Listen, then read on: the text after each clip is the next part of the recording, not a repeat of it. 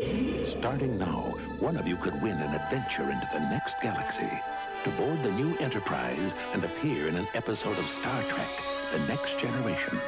Look for the winning game card inside boxes of Cheerios and Honey Nut Cheerios.